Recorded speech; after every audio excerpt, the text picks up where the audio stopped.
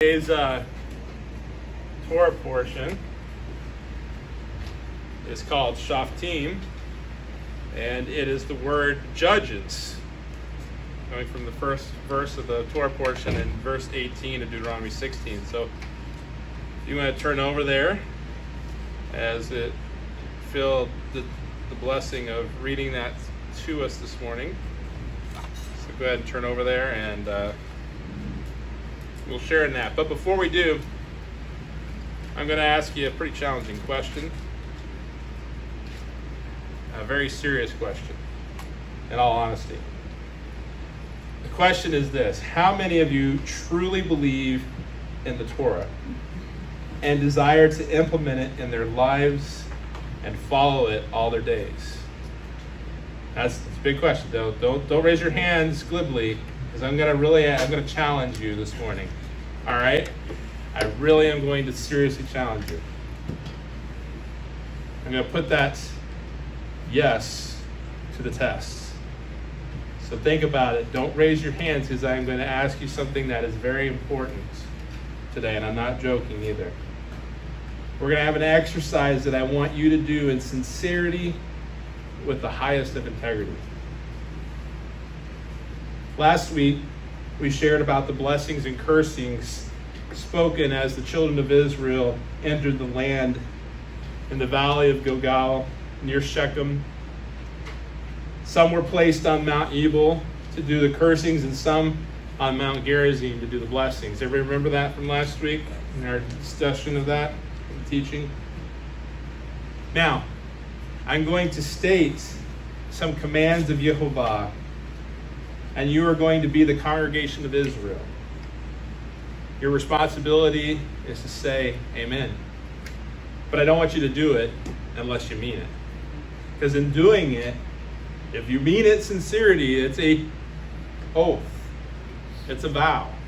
Because the term amen, in case you never understood that, means so be it, meaning I will do it in essence. We're going to be, I'm going to be reading out of Deuteronomy chapter 27, verses 9 through 26. So I'm not just pulling these out of thin air, but I, as I was studying, this was not where I, was planning on going, and this was actually brought to my attention. And I was like, okay, that connects last week to this week, even though it's a future Torah portion. But I want to read it. And I'm going to say things, and your response, if you truly believe the Torah in your life, is to say amen. But I don't want to put anybody on the spot. This is not, I'm being serious. If you believe in the Torah, this is a serious time. Because these are things that are found in the Torah. And if we truly believe in the Torah, then these are things we should unequivocally say amen to in all sincerity of heart. In verse 9 it says, Then Moses and the priests, the Levites, spoke to all Israel, saying, Take heed and listen, O Israel. This day you have become the people of Jehovah your Elohim. Wait a minute, I thought they already did that at Mount Sinai. Oh, guess what? All the people of Mount Sinai died, didn't they? Mm-hmm. So this is the next generation that's doing it. And Moses says, you're the next generation that's going to be the children of Israel. And I'm seeing around us today the next generation that's going to be the children of Israel. Therefore, in verse 10, you shall obey the voice of Jehovah your Elohim, and observe his commandments and his statutes, which I command you today. And Moses commanded the people on the same day, saying, these shall stand on Mount Gerizim to bless the people. When you have crossed over the Jordan, Simeon, Levi, Judah, Issachar, Joseph, and Benjamin. And these shall stand on Mount Ebal to curse Reuben, Gad, Asher, Zebulun, Dan, and Naphtali. And the Levites shall speak with a loud voice and say to all the men of Israel the following things. Cursed is the one who makes a carved or molded image, an abomination to Jehovah, the work of the hands of the craftsman, and sets it in, up in secret. And all the people shall answer and say, Amen. Cursed is the one who treats his father or his mother with contempt. And all the people shall say, Amen. Cursed is the one who moves his neighbor's landmark. And all the people shall say, Amen. Cursed is the one who makes the blind to wander off the road. And all the people shall say, Amen. Cursed is the one who perverts the justice due the stranger, the fatherless, and widow. And all the people shall say, Amen. Cursed is the one who lies with his father's wife, because he has uncovered his father's bed. And all the people shall say, Amen. Cursed is the one who lies with any kind of animal. And all the people shall say, Amen. Cursed is the one who lies with his sister, the daughter of his father, or the daughter of his mother. And all the people shall say, Amen. Cursed is the one who lies with his mother in law. And all the people shall say, Amen. Cursed is the one who attacks his neighbor secretly. And all the people shall say, Amen. Cursed is the one who takes a bribe to slay an innocent person. And all the people shall say, Amen. Cursed is the one who does not confirm all the words of this Torah. And all the people shall say, Amen. Amen. Those are powerful statements. And I know probably some of them were like, well, that doesn't affect me. But I was challenged as I was reading through them and studying how many of those things are being glorified today in our society.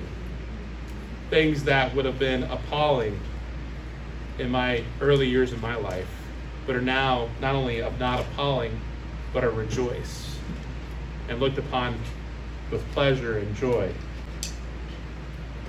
So much the difference between our society and our culture today and the words of Jehovah as seen in his scripture.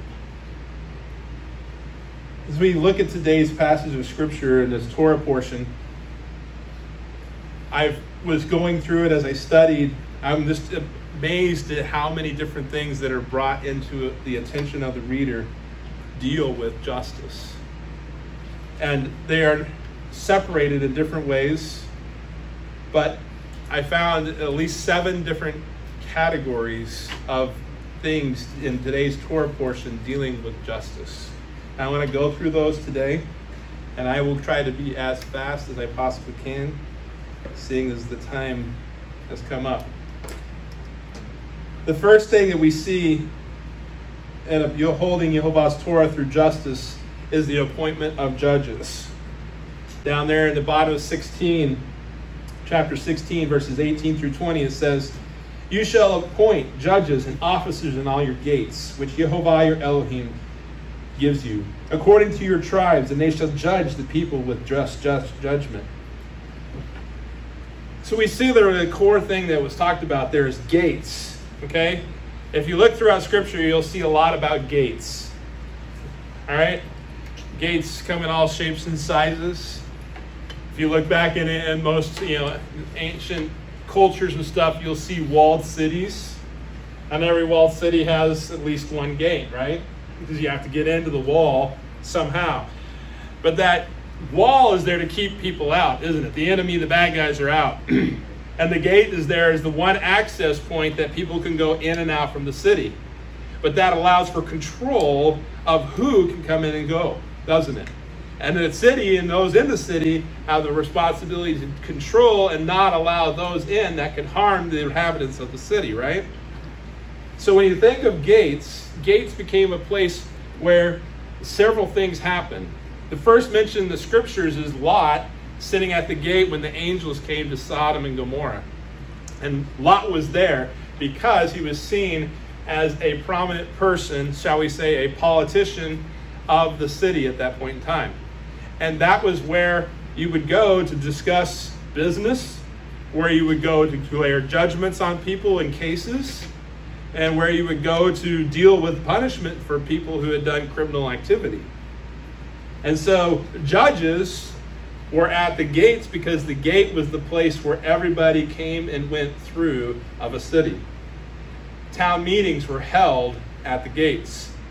So if you wanted the, the Jerusalem Gazette, and find out what was going on, the latest hullabaloo in Israel, you went to the gates to find out what was going on because that is where the person who had that information would be sharing it.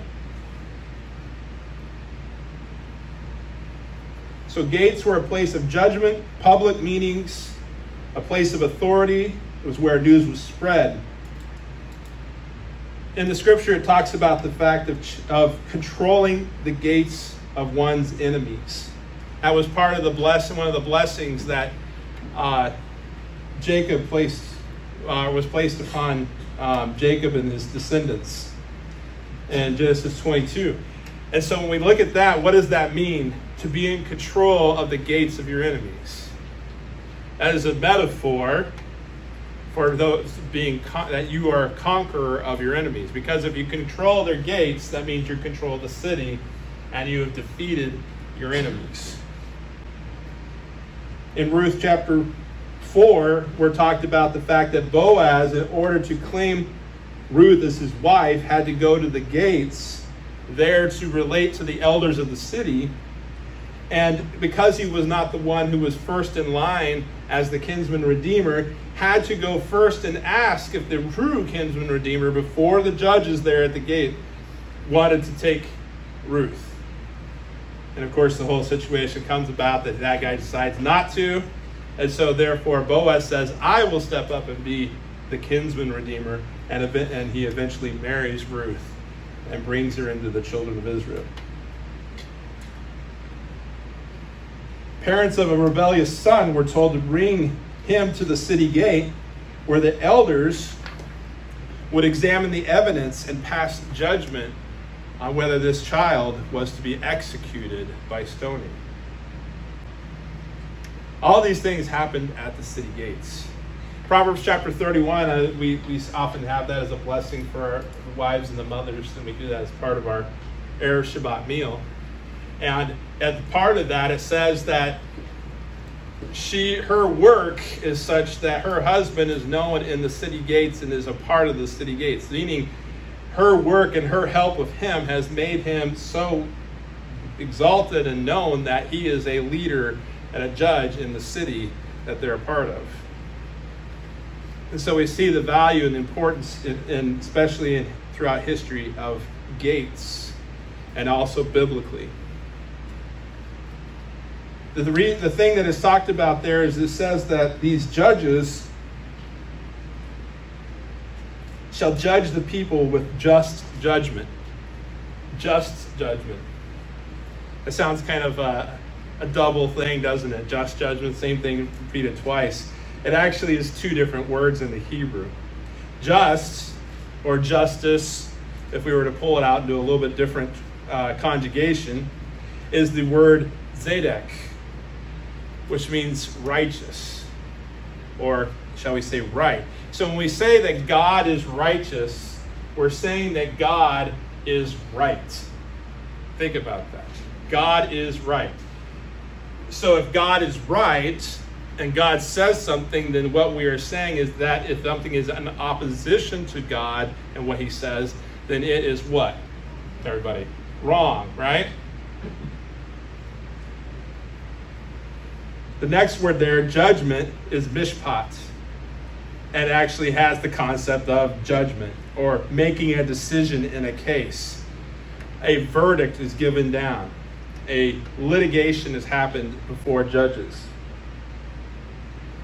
In the scripture, we are told that Jehovah is a just Elohim or a just God. He seeks justice for his people. In Deuteronomy chapter 32, verses 3 and 4, it says, For I proclaim the name of Jehovah Ascribe greatness to our God. He is the rock. His work is perfect. There's that idea of righteous. Perfect. A little bit different word though. For all his ways are justice. A God of truth and with and without injustice. Righteous and upright is he. So we see there in that passage that uh, that's part of the, uh, the the song of Moses I knew. Uh, I don't know if you. How many of you know Carmen, the singer? Mm-hmm. Yeah, and the one. Uh, um, what is the song? War is it called War? No. the one that's a boxing match between Satan and, and Yeshua that goes on. And uh, he says that we're going to be singing the Song of Moses on David's harp. You know, as part of that, you know, he loves to bring all these metaphors and stuff in his music. But that was like the only thing I knew of Song of Moses uh, growing up. But as you know, of course, studying and understanding the Torah portions, that's become much greater in understanding that there was an actual song that he's talking about that Moses sang, and this is part of it. That for I proclaim the name of Jehovah, ascribe greatness to our God. He is the rock. His work is perfect. For all his ways are justice, a God of truth without injustice. Righteous and upright is he. An understanding, so if you say, I believe in Torah, you're saying, I believe all those things. Because all those things pretty much sum up the Torah and are part of the Torah itself in the book of Deuteronomy. There are like two chapters, I think, before the end of Deuteronomy, if I'm not mistaken, off the top of my head. So when God says something, that is justice. He's a God of truth without injustice. So anything that goes against his Torah then has to be what? Injustice, falsehood, not truth. Psalm 58, verses 10 and 11. The righteous shall rejoice when he sees the vengeance. He shall wash his feet in the blood of the wicked, so that men will say, Surely there is a reward for the righteous. Surely he is God who judges the earth. I just, I mean, as mind boggling as my wife was sharing early on when we were singing, the lack of any care that we have in Christianity as a whole for justice. I struggle and have struggled for years now as I've studied the scriptures and, and delved into Torah, the lack of understanding of justice. And I think it shows that after years of that being deluding, happening in our culture, we're to the point that we're at where justice or injustice is called justice and justice is called injustice. Scripture talks over and over again about God's justice. And unfortunately, Christianity uses one word and, and, pretty much one word only, and that's all they talk about, especially today, and that's grace. But you can't have grace without justice. Anybody disagree with me? How do you know the person is having grace if justice is never accomplished. Grace becomes a pointless word unless justice is first understood and followed through with. If, as my children are growing up, all I do is show grace every time that they disobey, what does my word become? Do I have any truth in me? If I say to my kids, kids, uh, stealing is wrong, and my kids steal, and I go, You stole, it's okay. I will forgive you. We go on. They steal again. It's okay. I forgive you. Go on. What am I telling my children in actuality? I'm telling them that stealing is right and that me saying stealing is wrong is actually false, not true. And so I create in my children a falsehood and, a, and a basically a life against their creator who says that that is wrong. Psalm 116, verse 5 Gracious is Jehovah and righteous. Yes, our God is merciful. I put that in there as the last thing because of the fact that it does say our God is merciful. He is merciful. And whether we, why I stress justice I do not want to deny mercy and grace. But mercy and grace, again, is only seen if justice is preeminent. Without justice, mercy becomes frivolous. If we all run around and God is giving out, you did great, you gave it your effort, uh, trophies to everyone, how do we really know what truth and where He really wants us to be is at? You know, and I use that as an analogy to our current culture. We give everybody a trophy for saying you tried. But if it didn't succeed, you didn't succeed. And if we don't attain to the goal, if we don't attain, as Paul says, to perfection, to completion, then our is God pleased with us? I know we're all running a race, and I know that we're all striving. And the goal is to keep striving, folks. We don't get a you tried and then that's it. All right? That's not what Paul is saying. And no part of Scripture is saying that either, even though it seems that's what modern Christianity tends to say. Verses go on, and it says that if we live in his righteousness, we are safe. Now, the one who's speaking this is David. Did David face unsafe things? Mm-hmm. Amen? Yet in Psalm 118, verse 6, it says, Jehovah is on my side, I will not fear. What can man do to me? What can man do to you? And what can man do to I? Or to me? Depending on my proper grammar there. What can man do to me? Can he take this life? Yeah. Can he make me miserable? Yeah. But what's the ultimate objective? Is the ultimate objective this life? If this is all we have, the Apostle Paul says this then we are of most people to be despaired and um, that's not the word I'm looking at, but uh, not envied, but uh, huh? Pity. Pity. Thank you. Thank you. We're to be the most pitied of all people because our lives are worthless. But that's not what our goal is. If he gave everything he had, took the beatings and the, the persecutions and the stoning to death that God re- resurrected his life back to, and all the things that he went through, the imprisonments, if it wasn't for something greater than this life, he's to be the most pitied. But they could take his body, they could take his soul, or not his soul, but his, his life and his eyes and any part of him.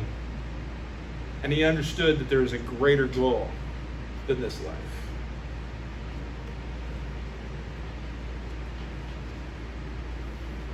Justice will be made. When we look around in our world today and we see the world falling apart before our very eyes on a global setting, we can uh, rest assured that justice will be made. Jehovah desired a system of justice that would preserve his commands no matter what. That would be filled with men of integrity that would rule in his authority with impartiality.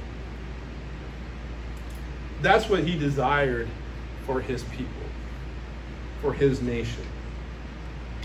Life Application Study Bible says these verses anticipated a great problem the Israelites would face when they arrived in the promised land. Although they had Joshua as their national leader, they failed to complete the task and choose other spiritual leaders who would lead the tribes, districts, and cities with justice and God's wisdom. Because they did not appoint wise judges and faithful administrators, rebellion and injustice plagued their communities. It is a serious responsibility to appoint or elect wise and just officials in your sphere of influence, home, church, school, job, are you ensuring that justice and godliness prevail? Failing to choose leaders who uphold justice can lead to much trouble, as Israel would discover. So, God is a God of justice. And, and the, one of the first things he was doing was appointing judges over his people and saying it is a good thing. From what I know, from what I've studied in my past, the founding fathers based our judicial system upon God's judicial system. You know, the whole tens, 50s, hundreds, 500s. The goal of what they chose to do was to create a system where there was layers of judgment so the simple things went to the first people, the harder things went a little bit further, the greater things went further until, of course, got the Supreme Court, which is not the priesthood in God's tabernacle. I will say that, even though some probably think of that today. But it was a good human concept that was trying to pattern after God's truth. And God and God set this up, and so I, you know, I appreciate and applaud the try that our founding fathers did in this country. And I think for the greater part of this 200 and 300, almost 300 years now, our, it has served our country quite well. And if, especially if you look at it compared to other countries in the world, we had a lot of times just, godly, impartial judges. And when that happened, our country overall did pretty good. But when impartial and ungodly and unbiblical judges came into play, what has happened to our judicial system? And how has that affected every other part of our government and our culture? The next thing we see in this chapter is the next couple verses don't allow for the perversion of justice. Deuteronomy 16, 19, 20. You shall not pervert justice, you shall not show impartiality, nor take a bribe, for a bribe blinds the eyes of the wise and twists the words of the righteous. You shall not you shall follow what is an altogether just, that you must live and inherit the land which Jehovah your Elohim is giving you.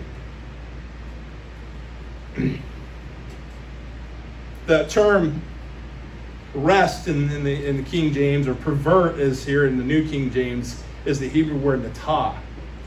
And it means to stretch out or bend or bow something. You know, you think of a bow that's bent in order to apply the string that gives it its, um, its springiness that will shoot the arrow.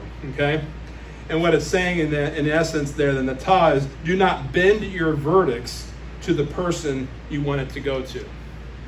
Do not bend your verdicts to the person that you like. We used to, we had a we have a company in in uh, Perry a few years back when they were redoing the uh, I-69 and they they got the license to do all the rock crushing. Well, in the city of Perry, that wasn't allowed. I should say there was we had a a gravel pit with some ordinances that dealt with that. But we didn't have anything specific for rock crushing within the city, although it was pretty hard and fast. And so they tried everything they possibly could to be able to do the rock crushing within the city limits. And you can imagine this really loud. People's houses across the street couldn't hear because it was so loud. Not a good thing inside of a city limits they went so far as because we, we were finding them and we were saying, no, you're not going to do this, and we're taking you to court over this. They went so far as to, at the same time that this was going on, we had this uh, historic house called the McQueen House. And the, the Historic Society of Perry, of like six people, wanted to restore this house. And they needed like $30,000 to do it. And you're looking going, we don't have 30000 to do it. So they had this great idea. Well, you know what? They came to uh, some of our council members and our mayor and said, We will provide the funds for the fixing up of the house if you let us do the rock crushing. That's a bribe. And the goal is that the people who are in charge that have the responsibility would turn their eye towards that person and not towards following what was just. Many of us don't do this. Or, um, sorry. Many of us obviously aren't involved in government. We don't see these things. We aren't doing these things like the Mosers were trying to do the city council of Perry. But do we do these things in other things in our lives? Our jobs, in our families, in our homes, with our neighbors? One way many of us have or will have the responsibility is within the confines of our family. As parents, we are to be judges of our family. Do we uphold justice within our family? I'm going to go in. I'm just going to go in here this real quick and talk about the fact that as parents, we have the right to uphold justice. I get really internally angry at parents who don't hold justice as valuable within their families.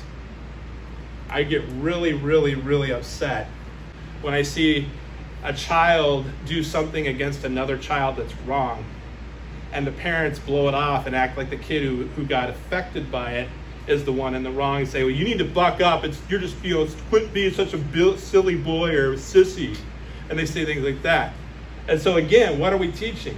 That you do wrong to someone else, you be a bully, and it's okay. That's unbiblical. And yet our world today and our culture is full of this type of stuff.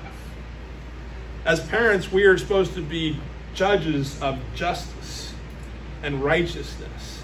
And when we see a child do wrong, we got to get off our lazy derrieres, go over and deal with the situation accordingly, which sometimes means we have to personally turn off the TV and get up and go do that, which isn't always easy, is it? But I'll tell you what, when you do it, it becomes easier later on. Micah chapter 6, verses 6 through 8 says, What with what shall I come before Jehovah and bow myself before the high God? Shall I come before him with burnt offerings, with calves a year old?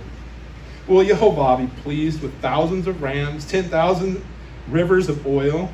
Shall I give my firstborn for my transgressions, the fruit of the, my body for the sin of my soul?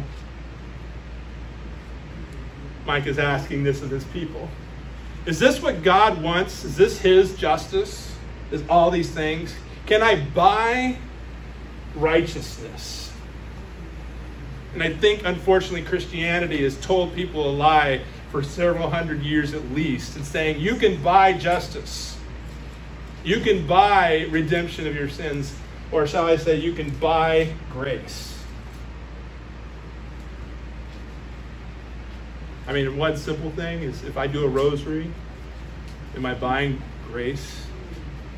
If I light a candle, I mean, those are simple. Those are Roman Catholic people who don't understand those things. Evangelicals aren't much better. We just think we're more spiritual. He goes on and says,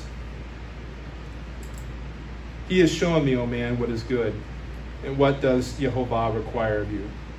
but to do justice, to do justly, to love mercy, and to walk humbly with your God. Yes, mercy is included. But if you remember, the first one is justice. Again, justice. Mercy without justice is nothing.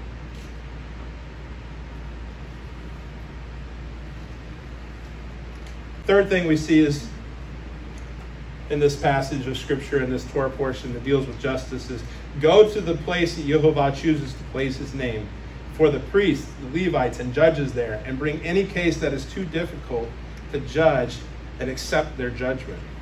In Deuteronomy 17, verses 8 through 13, it talks about this. and it says, Now to go through and they're supposed to bring it before these priests, Levites, and judges. And, and that so judges first, if they can't figure it out, they go to higher judges, next judges. If they can't figure out they toss it up further, it goes to the priests and the Levites at the temple. And that was the ultimate, that was the Supreme Court of the children of Israel. All right? So the priest, you got to the priest and and you've gone up there and you're like, oh, good, I finally got to the priest. I'm in front of God Himself here in His tabernacle. I'm going to get justice. And you lay out your cases, you and your friend, uh, your or neighbor, and the priest looks at it, looks at all the evidence and says, I find for your neighbor. What do you do? Do you go, ouch? That's a terrible call. You don't know justice. Come on, who do you think you are? That's a terrible judgment. You should have favored me instead of him. Do we ever hear that? If we look down further in that last section, it says, Now the man who acts presumptuously and will not heed the priest who stands to minister there before Jehovah your Elohim, or the judge, that man shall die. Wow that you know how many people don't try, don't care about justice in our country and don't care what just judges do or anything like that if you had a death penalty for defying judges authority or people in authority, would that change how we act? I think so. And he says there, Moses says to the children of Israel, So you shall put away the evil from Israel. And all the people shall hear and fear and no longer act presumptuously. How many of you think that we have presumptuous litigation in our country now? Why do we have presumptuous litigation, folks? Is it because judges do not act in integrity and judge accordingly? Do we always go most of the time with those who are in litigious, the ones bringing the litigation forward?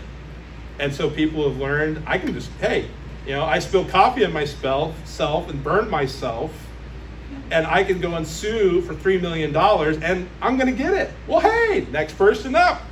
Who's my $3 million payday, you know? And what does that do for our culture and our economy? It brings it down. Who gets to pay for that $3 million that that judge just awarded somebody for nothing? For their own stupidity. How many of you ever spilled something on yourself and burned yourself pretty bad? You know? So, did, did you ever go and say, I need $3 million for that?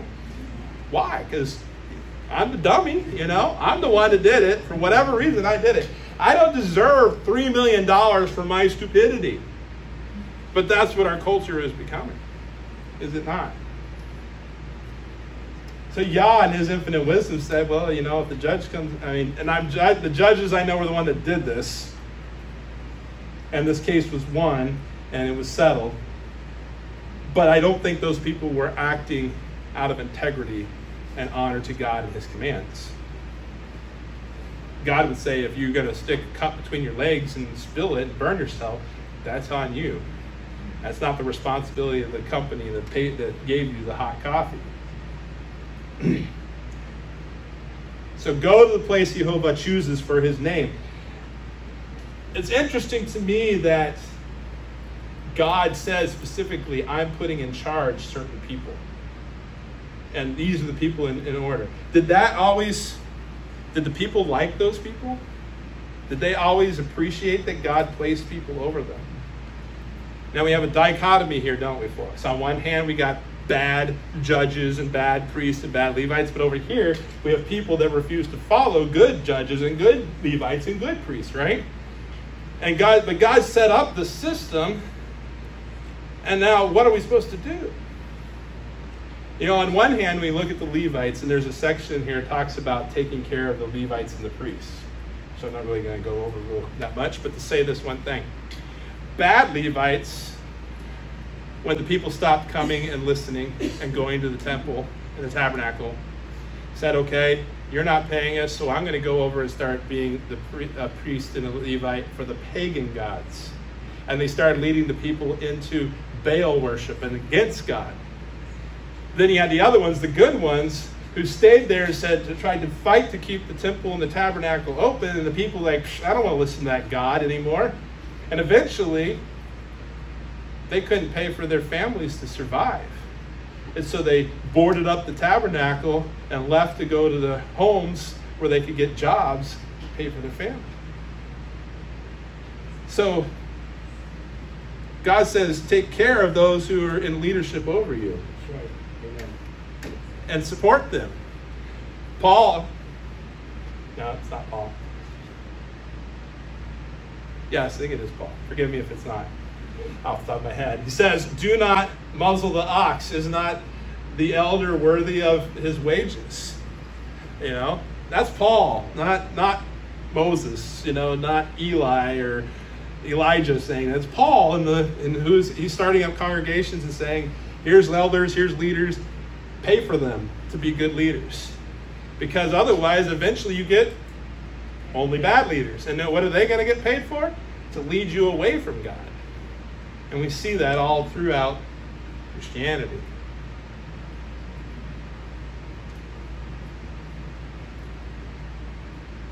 Cities of refuge. Cities of refuge were set up as places where you could go if you had done something. Mainly it was manslaughter.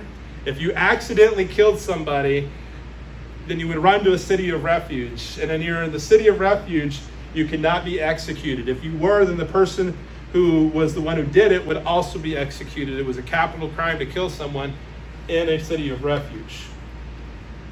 And you would stay there until you got your case heard, and it would be brought before judges in the city of refuge.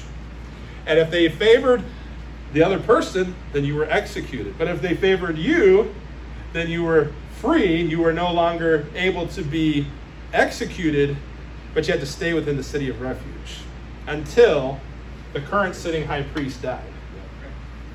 It's always a, a, little tricky thing there. I don't really understand why is he not free, but I'm assuming something along the lines that if you went back home and it didn't get back to them, that you were free or something, that maybe you could be killed by somebody else.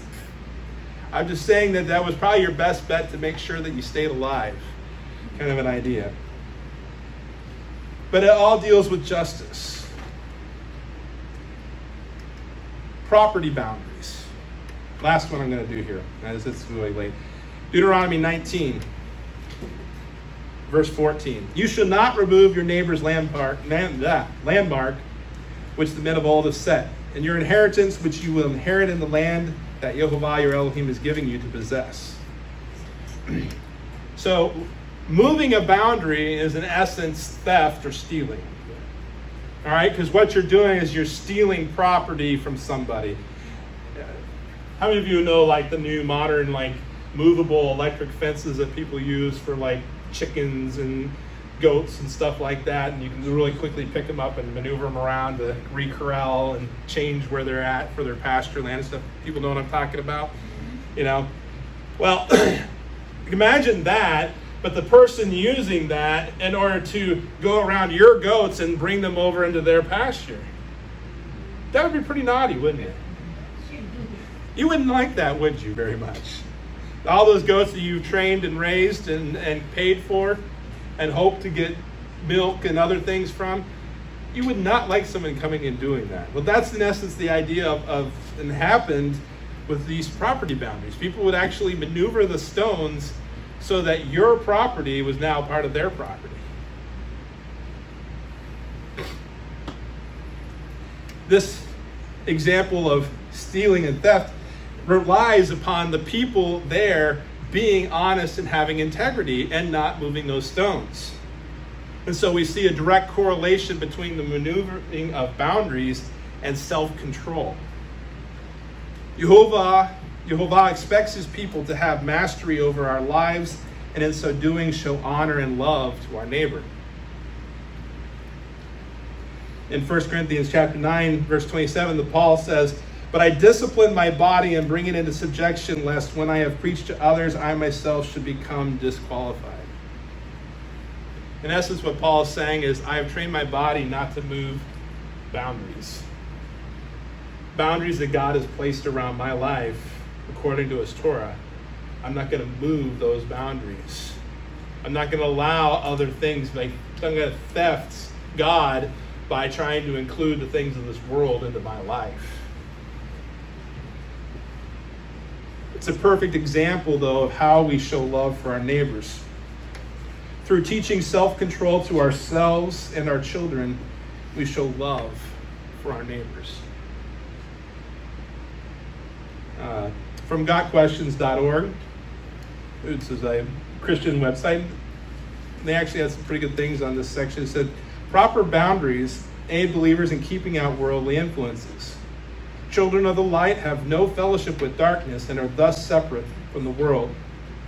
Being kind and friendly is Christ like, but we are not to embrace the world's way of doing things. Our wish, our wish is not to keep people away, but when people are being destructive, the boundaries we set can limit the evil they commit against us. Boundaries are about taking responsibility for our own lives God gives us freedom to choose to live within his boundaries or outside of them.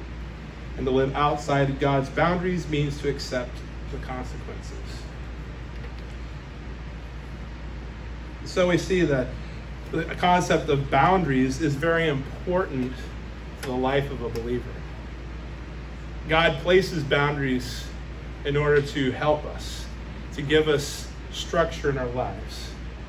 The Torah is meant to be that type of a structure. It's an economy that we can live in and thrive in if we seek to do it according to God's commands. If we are always seeking to try and move the fence or move the boundaries and get outside, then we will fail to see the joy and the, and the fruitfulness of living out Torah in our hearts and in our lives. When we live within those boundaries, God is capable of blessing us, making us fruitful and multiplying us. And so we see not all the things that I have hoped to do today due to time, but we can see many instances of justice just in this one section of Judges, of Shoftim, of how God hoped his people would trust him and live within his boundaries, and therefore would see the glory and the benefit and the blessing of walking in his ways, not the ways of the world. Shabbat Shalom.